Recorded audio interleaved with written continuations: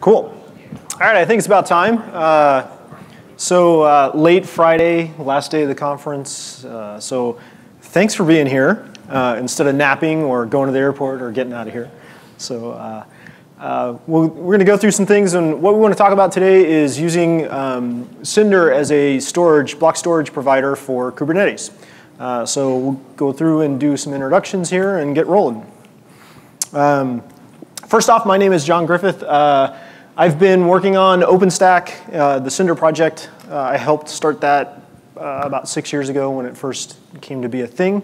Um, so I've been working on that. I've been doing some things in the container space as well, and all kinds of anything cloudy basically. Uh, these days, I, I kind of work on a little bit and have various things. All my contact info is, is up here. If you ever want to uh, reach out, ask me any questions, anything follow up on today, give me a holler. Uh, I love to talk. So, and sometimes that's the only thing I'm really good at. So. Uh, my name is Huamin Chen. I work for Red Hat, and uh, just at the time Kubernetes took off, I wrote a bunch of plugins. So uh, if you're using one of those, um, iSCSI fiber channel, RBD stuff, whatever, and also Azure, um, I'm the one to blame. And uh, also my GitHub IDs and my Twitter. Feel free to follow me. All right, so uh, what, what we kind of want to do today is, uh, Juan and I have worked on a number of things with, with Cinder together uh, over the past uh, four, yeah, it's been a while. Uh, so we're going to kind of walk through, and for those of you who may not be familiar with Cinder, I'm going to talk a little bit about that and go through some of that. And then Huamin's going to talk about uh, what the volume and the persistence model in Kubernetes looks like today. And then we're going to kind of tag team what we've put together to use Cinder to solve some of those problems. Um, and then talk about where we're going to go, uh, what the future looks like, and then hopefully get some dialogue going with you folks, um, maybe get some input, kind of go from there. So uh, first off, in terms of Cinder and what it is, so the idea of Cinder way back when was to create a block storage as a service, right? So the whole idea was to give an abstraction, to give something that could be used by a cloud, particularly OpenStack, that would let you plug in various backends and seamlessly consume them as a user. Um, the whole idea is you can scale this out, you can scale this in, uh, you can dynamically change things uh, behind the scenes without your users ever knowing, right? So that was the whole idea. One of the other things that some people aren't really aware of is we did have all along this idea of having it be a standalone service. Um, so if you're familiar with OpenStack, you may know of a project called Swift. Um, they had sort of the same model. It's an object store. It can be used in OpenStack or outside of OpenStack. Right? And so that's kind of the same thing we want to do with Cinder. We want to make it something that is useful uh, for OpenStack, and that may be its primary use case. Um, but it's extremely valuable, uh, as you can see these days, because there's at least eight or nine that I count right now uh, projects out there that are trying to abstract storage devices into an interface, right? So we've already got one. Uh, it's been out there for, for almost seven years. It's got over 70 or 80 backends that are supported. And it's been used in production by really, really large clouds for a long time. So it's battle tested. It's got a ton of features. Um, we've had thousands and thousands of bug fixes over the years. Uh, so it's solid, it's rock solid. So it's a really good choice. And best of all, we've got a great community with, with over 500 contributors. And that's, that's just code contributors. So it's a, it's a pretty huge deal. Um, you know, as I mentioned, it, it's not something that, that is just for OpenStack. Uh, so I, have been doing this uh, crazy demo thing on, for a couple of years now on using Cinder uh, as a standalone thing in uh, Docker as well as Kubernetes and Swarm and everything else. And for anybody that's seen my demos, you probably know why I'm not going to do a live demo today. So uh, I, I, used to have good odds, and right now these days I'm at like a I got like a two in ten shot. So I'm not I'm just don't do them anymore. Um, but that's okay. Uh, I put the stuff on my blog, and you can check it out there. Uh, but the cool thing is, one of the things that we uh, did recently is we went ahead and we put uh, stuff in the Cinder repository in the, in the master tree to actually containerize Cinder and run it as a service using a Docker Compose file. So for all those people out there that you hear, you know, OpenStack projects are hard to deploy and they're difficult to upgrade and blah, blah, blah. Uh, the whole idea behind this was just to say, hey, you know, that, a lot of that is not true. Um, so inside of the contrib directory, inside of the Cinder repo, there's a compose file. Um, you can go in and you can do a make to build the images, the Docker images, and then you can do a compose up and actually have a full-blown running Cinder service on your system. Now, I say, you know, oh, that's it, you're done, right? Okay, it's not really that simple if you want to do something in production, but if you want to just try it out, it, it's extremely simple. Um, so you can take that, uh, you can modify it and everything. So check it out. It's on GitHub. Uh, it's, it's, it's pretty cool. So of course it's cool, right? Um, so these are the steps. Uh, you clone the repo. You cd into the contributor directory. You run a make. What the make does is it uses a project called Loci that builds all of the images that you need. So you're going to get uh, a Cinder API container, a Cinder volume container, a controller container, a database container, and a RabbitMQ container. It's going to build those up.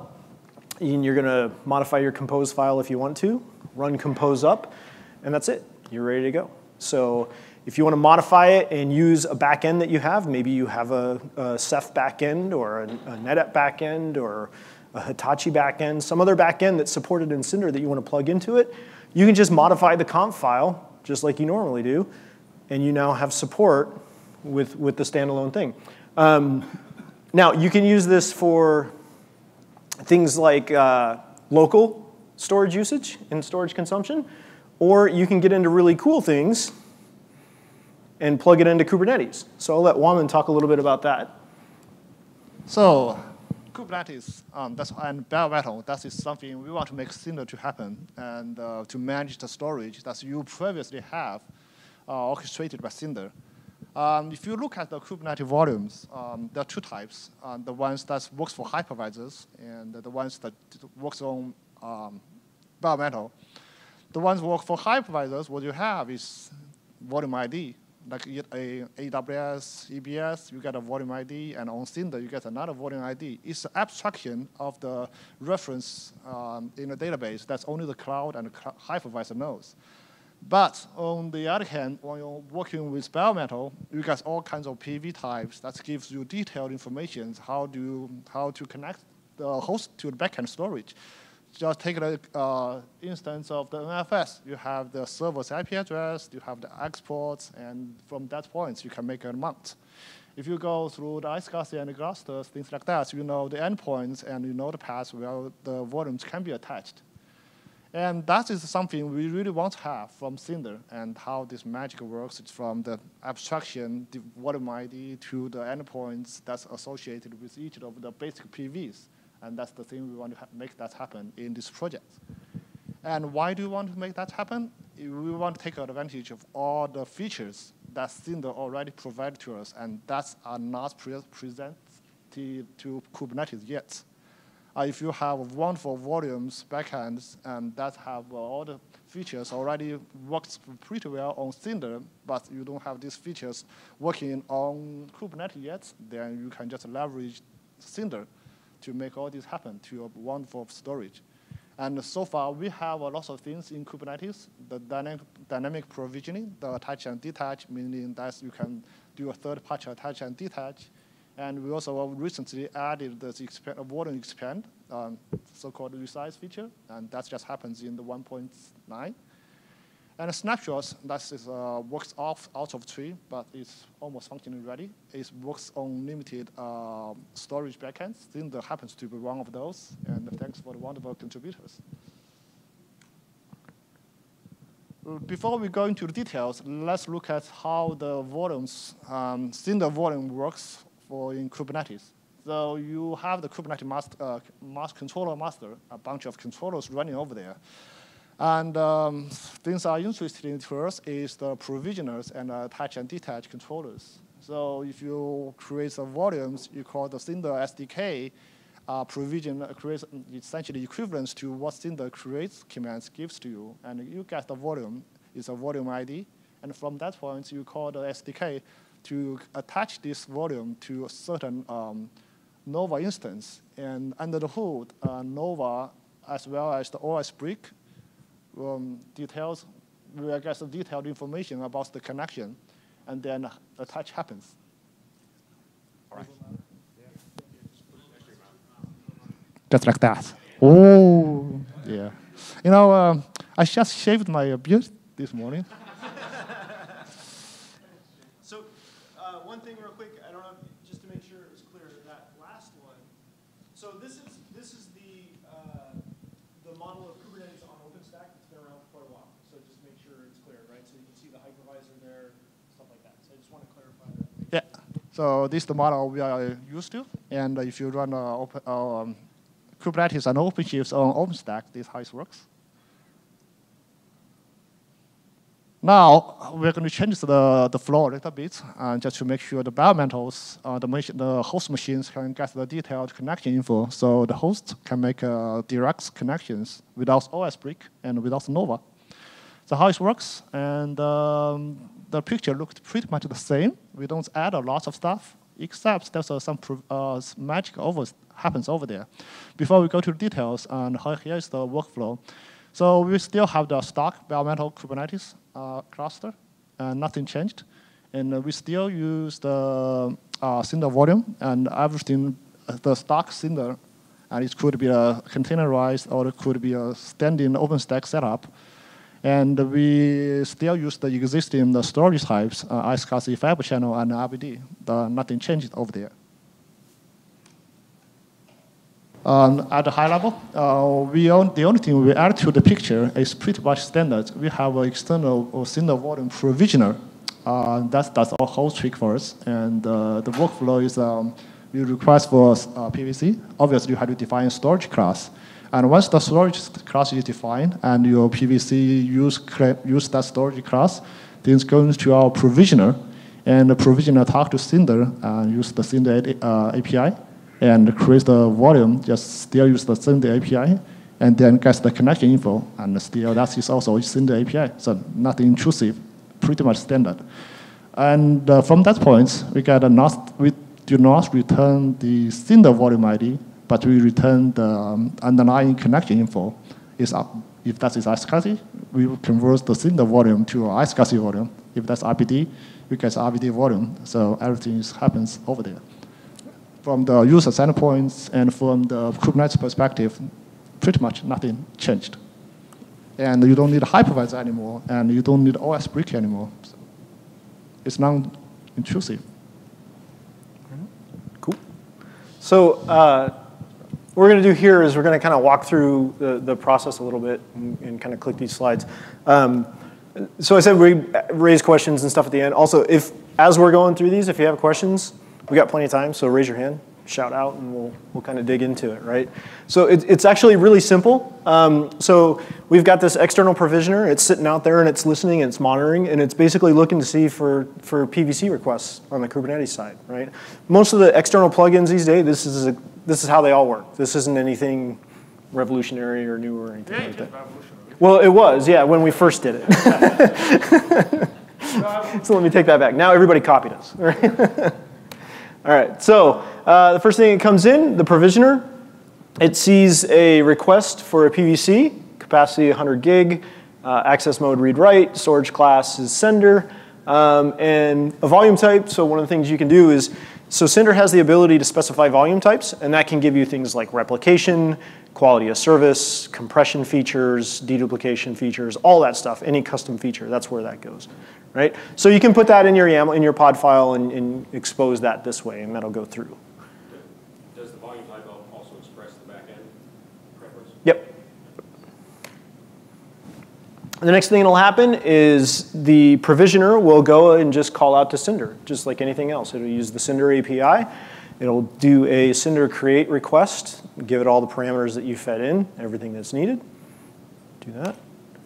And it'll come back and it'll just give the Cinder volume ID. So now the provisioner will have a Cinder volume ID. So it's got a handle, knows what to do, and it associates it with the, the volume handle that you put in your pod file. So that's the, that's the dynamic provisioning piece, which is fairly simple. Uh, the next part is the attachment. Uh, attachment's pretty simple. You want to? Okay. All right. So uh, we, we do kind of the same thing. Uh, the provisioner uh, gets the request to do an attach. So what happens is it goes ahead and it calls out to Cinder and it does what Cinder expects, which is called a reserve, which just says, hey, mark this volume as something that's, that's flagged as going to be used and attached. It'll then go and it'll call an initialized connection. And this is actually the important call. So this call is what includes all of the things like for iSCSI, for example. It includes the initiator IQN, the host IP address, all that sort of thing, right? So that's where all the data actually is. And then it responds. You can see over here on the left, um, it goes ahead and, and responds back to the provisioner and back to Kubernetes with all that. And then we call the Kubernetes iSCSI mounter or RBD mounter. All right. So then we call that and we go ahead and we attach that volume to the bare metal node. Right? So now you have a Cinder volume attached to bare metal. Connection's all done. We notify Cinder that we're finished, which then in turn calls an attachment completion, which on the Cinder side marks the volume as in use. Now the thing that's cool about this is as Kubernetes progresses, as the Kubernetes APIs for storage progress and things like that, there's a lot of things that you know, people want to do, right? And they, and they can't do yet because it's not in the API. But the thing that's cool is now you have this other piece. You have this Cinder piece. So you can go in from here and you can do things like uh, cloning and replication and all of those things that may or may not be in the Kubernetes API anytime soon. Right? Yeah, Lewis.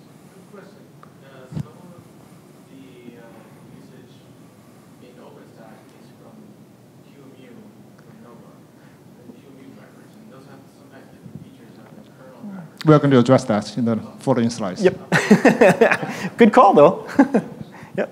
So, all right. Anything else on this one before we? Okay. You want to talk about this one? Or? Yeah, sure. Okay. And uh, before we go there, I will have to make a big thank for Adam, and Adam make all this happen. Otherwise, we are just standing here and just talking for on paper. And uh, the code is, is actually in the Kubernetes external storage and in, in the uh, incubator has been heavily contributed by uh, community helpers. Uh, it works pretty well on a number of uh, plugins on iSCSI and uh, uh RBD. These are the first because iSCSI obviously gets the, the best adoption so far. Um, back to Louis' question, um, the QEMU and the QCOW, um, that's going to potentially could be the bridge for things like a Gluster and an NFS that does not have the native block device support. Because Cinder essentially provisions the block device and the block device on NFS or Gluster is just a file emulation. So the TCMU runner could be the bridging technology for that happen, and also QEMU. Um, so that's the, all right. As John mentioned, we leverage Cinder a lot, not just by the drivers or repositories, also by Cinder's uh, rich set of features. And for things that haven't happened to Kubernetes yet, or haven't happened to the drivers yet, and if it works for Cinder, it's going to work out of the box for your backend.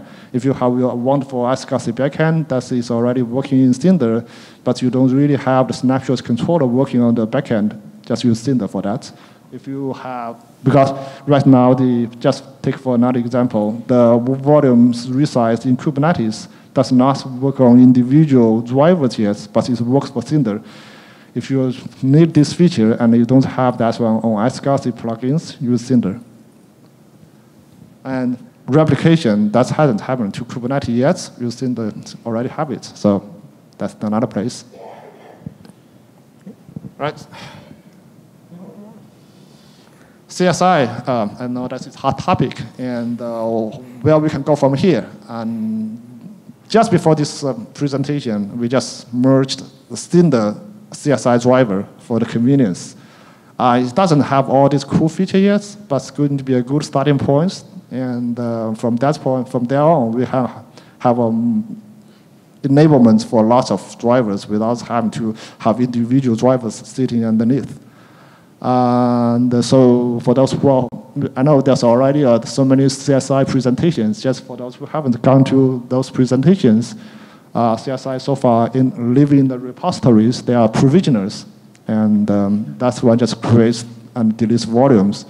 Attached attachers, that's just manage the attachments, and the drivers, that's manage, manage the node mounts and unmounts.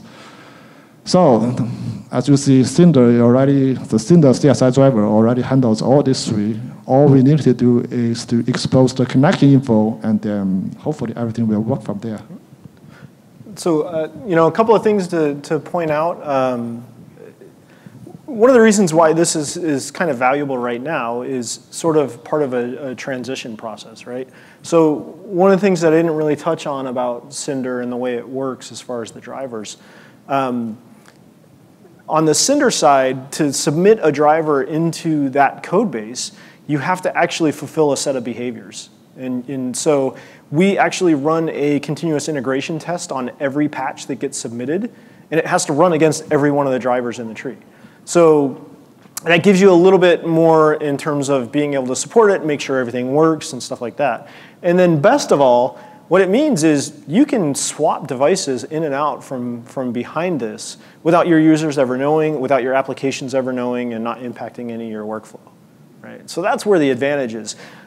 Granted, it's not for everybody. Um, you know, there's some people that, that definitely are going to want to go and, and, write their own uh, CSI driver or whatever plugin and stuff like that, and that's great. Um, this is just another option for a lot of people that um, I think has a lot of benefit, uh, especially when it comes to the support and testing model, right? Because this has been tested pretty thoroughly. So, um, but I think, I think with that, uh, oh had some. Oh, okay. That's, oh, I kind of just touched that. so uh, anyway, I think that's about pretty much what we got. Hopefully, uh, you guys got some questions. Maybe you're interested or feedback. Crickets. All right. Well, um, you can reach out to either one of us: IRC, Slack, email, carrier uh-huh. pigeon, GitHub. Yeah. Uh, great presentation. Um, does, do Cinder, the existing Cinder drivers require any kind of modification for this to work? Not if they're iSCSI or RBD. So as long as, as long as there are those two protocols, they work. Um, the other protocols like NFS and things like that, uh, the, you know, that's, that new technology yep. will be required. Right. RBD fiber channel, potentially. We haven't done anything with Fiber Channel yet. But you can write a patch. You know how to do it. You know how to do it. You're already familiar with this. I know you. Just we don't have resource, the fiber channel device. So we can do it. You do anything with uh, like AZ awareness and Cinder? So the question was, have we done anything with AZ awareness in Cinder? So if, if you're familiar with Cinder, it has availability zone type model. We haven't really put any of that into this provisioner yet because quite frankly, right now, I, I don't know. Kubernetes does not. Yeah, Kubernetes doesn't have any way to, to interpret that, right? Now, there might be something interesting you could do in your pod file to try and distribute your, your storage a little bit. That, there might be something you do, but that's only half of it, right? So, um, but again, pull requests. Yeah. It'd be awesome. Yes, sir. That was actually, I forgot to talk about that. So uh, I started working last night a little bit, but it was a really late night, so I didn't get very far, um, on converting this to uh, run in pods and possibly be dumped into a Helm chart. Um, it's not there right now, uh, but it certainly can be. So you and I are going to talk here in a few minutes, and we're going to look at doing that. Um, because that would be pretty cool, right? Because you could say, hey, run this script to, to launch a Cinder service inside of my Kubernetes deployment, and then use that and consume it from my Kubernetes deployment. So that'd be pretty cool. Just uh, some piggyback for that question. So there's actually a chart for the incubator, external storage, and there's PR going on from Mr. Sergey. Oh, yeah. excellent. But not, probably not for that one. But something along yeah, those lines. Cool. Yeah. Anyone else? Cool. Well, thanks everybody. Again, especially on a Friday, last day. So.